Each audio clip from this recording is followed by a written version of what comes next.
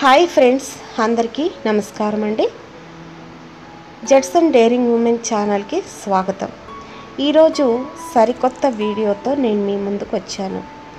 మీరు చూస్తున్నారు కదా దీన్ని పిప్పింటాకు అంటారు. ఇది సాధారణంగా అందరికీ తెలిసే ఉంటుందని నా నమ్మకం. ఎందుకంటే దీన్ని సాధారణంగా మనం పెరటి మొక్కలు పెంచేటప్పుడు వాటిలో ఒక పిచ్చి మొక్క కింద పెరుగుతూ ఉంటుంది. కాబట్టి దీన్ని పిచ్చి మొక్క అని పీకి పడేస్తాం. కానీ దీంట్లో ఎన్నో రకాల పోషక విలువలు ఉన్నాయండి. ఇది పెద్దవాళ్ళకైతే కీళ్ళ నొప్పులు అలాంటివి తగ్గించడానికి పనికొస్తుంది. అలాగే చిన్నపిల్లల్లో నులి పురుగుల సమస్యను అరికట్టడానికి ఈ ఆకు పనికొస్తుంది. అయితే ఈ ఆకును డైరెక్ట్గా తింటారా అంటే అలా తినకూడదు. సో దాన్ని ఎలా చేసుకొని ఎలా వండుకొని ఎంత మోతాదులో తినాలి అన్న విషయం నేను ఈరోజు మీకు ఈ వీడియో ద్వారా తెలియజేస్తాను. ఈ ఆకు నేను పొద్దున్నే అమ్మ నిద్ర లేవకముందే కోసుకొచ్చి టేబుల్ మీద పెట్టాను. సో తన నిద్ర లేవగానే ఫస్ట్ డ్యూటీ ఆకు వలవడం. దయచేసి నన్ను తిట్టుకోకండి ఉదయాన్నే ఆకు వలిసే డ్యూటీ పెట్టావా అమ్మకి అని అంతకు మించి పనులు చెప్పనులేండి. ఓకేనా ఫ్రెండ్స్? ఇంకా ఆకు ఎలా ఒలుచుకోవాలి? చూడండి ఒక్క ఒక్క ఆకు మాత్రమే ఒలుచుకోవాలి. తోటకూర పాలకూర చుక్కకూర ఒలిచినట్టుగా కాడలతోటి ఒలవకూడదండి. ఒక్కొక్క ఆకు మాత్రం ఒలవచ్చు. అయితే ఇక్కడ దీన్ని ఒక్కొక్కళ్ళు ఒక్కో రకంగా చేసుకుంటారు. కానీ నేను నేర్చుకున్నది మాత్రం ఇలా ఆకులు ఒలిచి కేవలం ఆకులు మాత్రమే ఫ్రై చేయడం మాత్రమే నేను చూశాను. సో అది మాత్రమే నేను మీకు చెప్పగలను. ఇవన్నీ ఒలుచుకున్న తర్వాత శుభ్రంగా కడుక్కొని కాస్త ఉప్పు వేసి దాన్ని ఉడికించుకోవాలి. ఇక్కడ చిన్న విషయం అండి. ఈ ఆకులో నీళ్ళు పోసి ఉడికించకూడదు. ఎందుకంటే అవి కడగగా మిగిలినటువంటి నీళ్ళు అంటే అవి కడిగినప్పుడు ఆకులోనే ఉండిపోతాయి కదా కొంచెం నీళ్ళు ఆకులు కంటుకొని సో ఆ నీళ్ళతోనే ఈ ఆకు ఉడికిపోతుందనమాట. అందుకే మనము ఎక్స్ట్రాగా నీళ్ళు అనేది పోయకూడదు. సో ఇప్పుడు చూద్దాం. దీన్ని పొయ్యి మీద పెట్టుకొని ఉడికించుకోవాలి. తర్వాత దించిన తర్వాత మనం ఆకును చెయ్యి వేడి పట్టేంత చూసుకొని అలా చిన్న చిన్న ముద్దలుగా పిండుకొని ఒక పక్కన పెట్టుకోవాలి.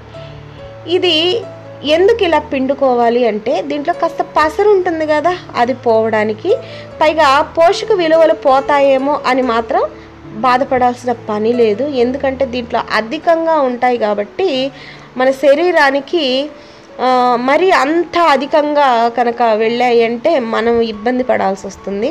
కాబట్టి మన శరీరానికి ఎంత మోతాదు అవసరమో అంత మోతాదులో మనం తీసుకోవాలన్నమాట. అందుకే మనం దీన్ని ఇలా జాగ్రత్తగా పిండేసుకోవాలి. అయితే ఇది పిండేటప్పుడు మెత్తగా అయిపోదు. సో ఆకు నలిగిపోదు. అదిగో చూడండి ఆకులు ఆకులు అలానే ఉంటుంది. కానీ టేస్ట్ ఉంటుందండి చేశాక. చాలా చాలా బాగుంటుంది. ఏ ఆకుకూరలో కూడా అంత టేస్ట్ అయితే నేను చూడలేదండి. ఈ పిప్పింటాకులో చూసినంత టేస్ట్ అన్నమాట. సో ఇది విషయం. ఇలా ఆకునంతా పిండేసుకొని ఒక చోట పెట్టుకోవాలి. తర్వాత పిండిన తర్వాత అంతా పొడి పొడిగా ఇలా చేసుకోవాలి. చేసుకున్న తర్వాత ఇప్పుడు చూస్తున్నారు కదా మీరు దాన్ని ఎలా ఉంటుంది ముద్దలు ముద్దలుగా? అలా ఉంటుంది. అలా పొడి పొడిగా చేసుకోవాలి. నీళ్ళు ఏముండదు క్లాత్లో వాటిల్లో వేసి పిండకూడదు అనమాట అంతా ఒకేసారి పిండేసుకుంటే అయిపోతుంది కదా అని అలాంటి పనులు అయితే చేయకండి. ఇలా కొంచెం కొంచెంగానే పిండుకోవాలి. ఇప్పుడు మనం ఇక బాండీలో ఎండుమిరపకాయలు రెడీ చేసుకొని వాటిని చక్కగా వేయించుకుందాం. తర్వాత ఆ వేయించుకున్న ఎండుమిర్చిని చక్కగా రోటిలో వేసి దంచుకుందాం. ఇలా రోటిలో వేసి దంచుకున్నటువంటి కారం వెల్లుల్లి కారం ఎంత రుచిగా ఉంటుందంటే మిక్సీలో వేసి దంచినా కూడా మనకు అంత రుచి రాదు. తర్వాత వెల్లుల్లి కూడా మనం పొక్కులు ఒలిచి వేయడం కంటే కూడా పొక్కుతోనే అలా డైరెక్ట్గా వేసుకొని దంచుకోవడం ఆరోగ్యానికి చాలా మంచిది. సో కొం అంటే చాలామంది పొక్కు తీసి మరీ దంచుకుంటారు. ఎవరి అలవాటు వాళ్ళది. సో దాన్ని తీసి పడేయలేము. సో పొక్కు తీసి దంచుకోవడం మంచిదే. పొక్కు ఉంచి దంచుకోవడం మంచిది. సో ఎవరిష్టం వారిది. ఓకేనా ఫ్రెండ్స్? సో ఇట్లా మనం తెల్లగడ్డలు వేసి చక్కగా దాన్ని దంచుకోవాలి.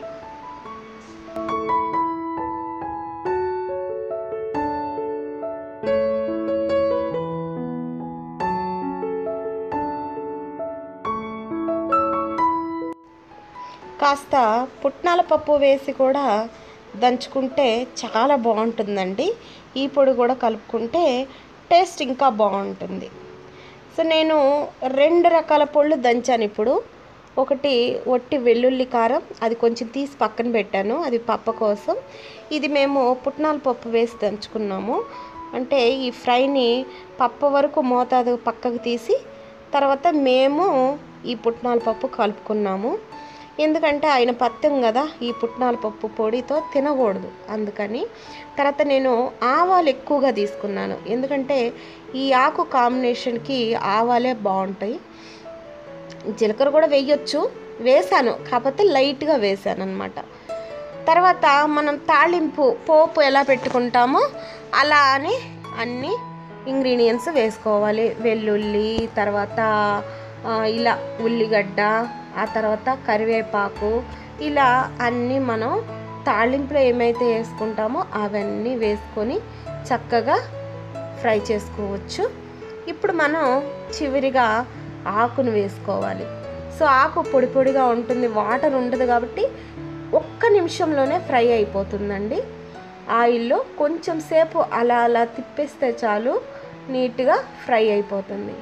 అయిపోయాక ఇప్పుడు మనం దాంట్లో పుట్నాల పప్పు వేసి పొడి మనం దంచుకున్నాం కదా అది వేసుకొని ఇంకా తినేసేయడమే.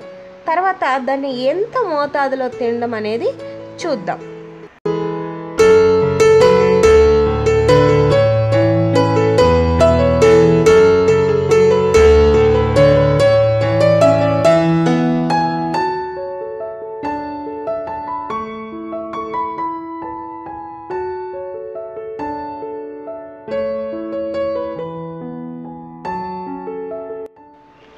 ఇప్పుడు నేను ఎంత మోతాదులో తినాలో మీకు చూపిస్తున్నాను చూడండి. అది మనం వేరుశనగ ముద్దలు కొనుక్కొని తింటాం చూడండి. సో ఆ వేరుశనగ ముద్ద సైజ్ అంతా ఎవరైనా అంతే తినాలి. అంతకు మించి మోతాదు తినకండి. ఓకేనా ఫ్రెండ్స్? ఇది చాలా అంటే చాలా రుచిగా ఉంటుంది. అస్సలు ఒక్క కొంచెం